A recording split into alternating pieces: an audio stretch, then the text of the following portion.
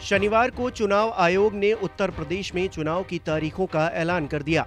सात फ़ेज़ में होने वाले इन चुनावों को लेकर सारे सियासी दल पूरी तरह से सक्रिय हैं। हर नेता अपने आप को जनता का सेवक और अपनी पार्टी को जनहितैषी बताने में जुटा है। सत्ता पक्ष के मुखिया योगी आदित्यनाथ भी अपने काम को सर्वोपरि बताते हुए कह रहे हैं कि हिंदू विरोधी तत्व योगी मोदी को कभी नहीं स्वीकार करेंगे। मैं अपनी गर्दन काट करके तस्तरी में उनके सामने प्रस्तुत कर दूँ, फिर भी नहीं।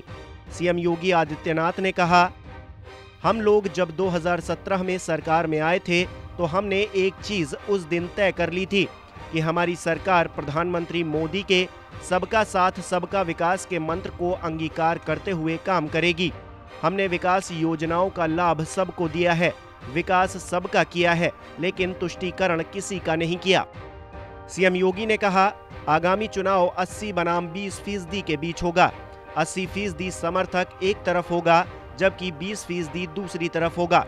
मुझे लगता है कि 80 फ़ीसदी सकारात्मक ऊर्जा के साथ आगे बढ़ेंगे, जबकि 20 फ़ीसदी ने हमेशा विरोध किया है।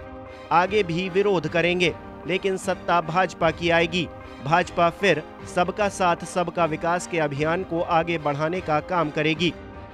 सीएम योगी ने आगे कहा अगर कोई इसे हमारी कमज़ोरी मानता है तो ये कमज़ोरी हमेशा हमारे साथ रहेगी, क्योंकि राष्ट्रवाद हम सब का संस्कार है। अपने इस राष्ट्रवाद के मुद्दे से हम लोग कभी भी विचलित नहीं होंगे। दूसरा, कोई भारत विरोधी तत्व और हिंदू विरोधी तत्व मोदी जी और योगी को कैसे स्वीकार कर लेगा? वह हमें कभी भी स्वीकार नहीं करेगा। मैं अपनी गर्दन काट करके तश्तरी में उनके सामने प्रस्तुत कर दूँ तो भी वो मुझे कोसेंगे ही। ऐसे तत्वों की हम परवाह नहीं करते हैं। मुख्यमंत्री योगी आदित्यनाथ बोले, मेरी प्रतिबद्धता प्रदेश की 25 करोड़ जनता है।